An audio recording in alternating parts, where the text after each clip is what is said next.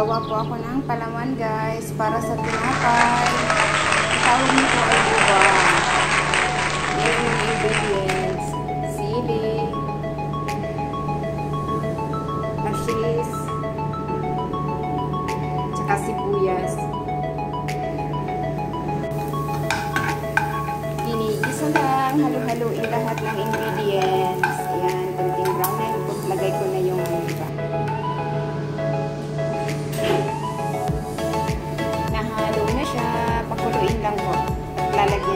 Spices. Yan, malapit na siya. Kunting patuyo lang para hindi siya mabasa. Hindi mabasa yung bread. Patuyo, patuyuin ko lang konti.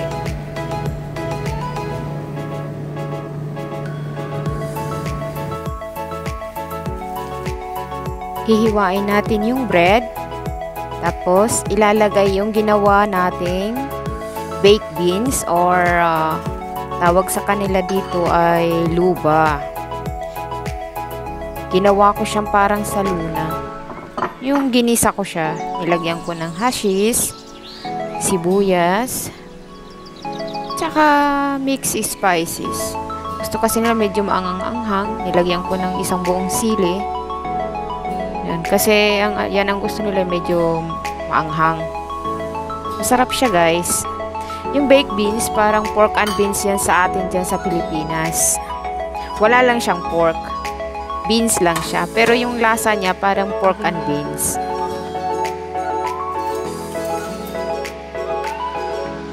Ganun lang, madali lang siya gawing sandwich. Masarap siya guys.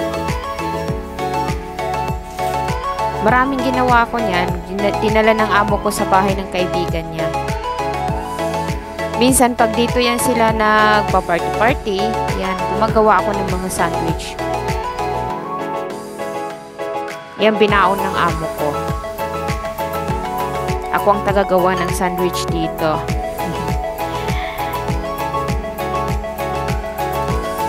Madali lang siya gawin. Masarap. Pwede siya pang ano rin, pang okasyon dyan sa Pilipinas. Pwede siya pang okasyon. Mabili yan sa mga bata. Pork and beans, di ba sa Pilipinas ang sarap ipalaman. Ganun lang siya kadali. Katapos, initin mo siya doon sa ano, toaster.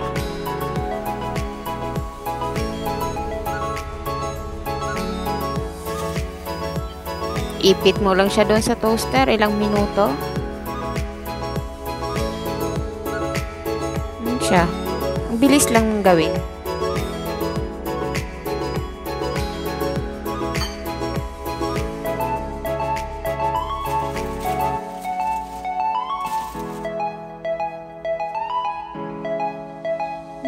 Napakadaling gawin. halos kulang yung apat ka lata na ginawa kong ginisa ko.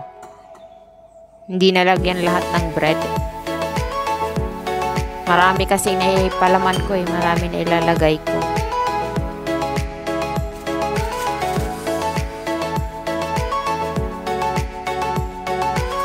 Para naman masarapan yung mga kaibigan ng amo ko. Malasahan nila yung baked beans. Ang tawag niyan ay baked bean sandwich. Ganun lang siya kadali gawin.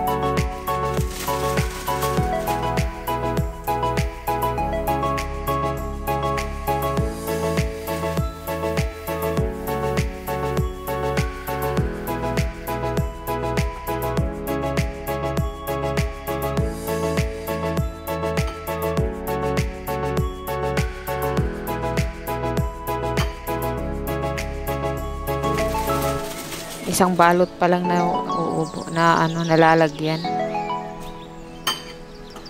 Masarap siya guys. Pwede nyo i-try.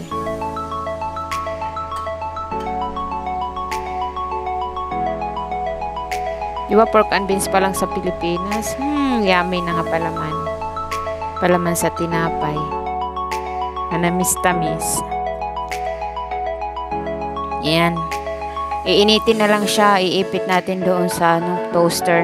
Yan. Lagay na sa toaster. Ganun lang kadali.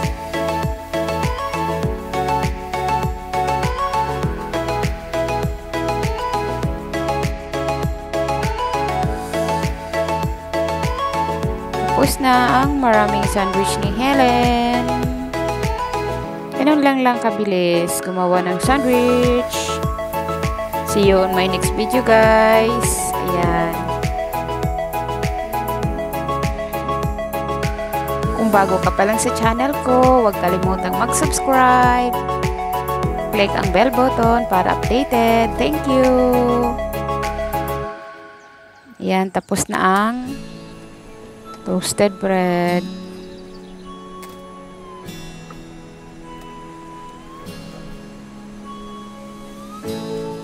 Pa-like naman dyan. Thank you so much. Thank you so much sa support nyo, lalo na sa organic friends. Thank you so much.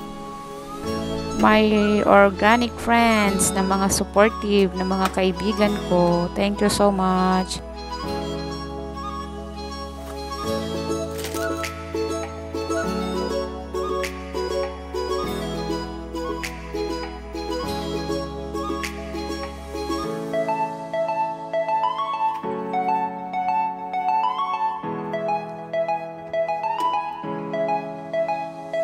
Bye guys. See you on my next vlog. Don't forget to subscribe, like. Thank you so much. God bless. Bye-bye. I love you guys.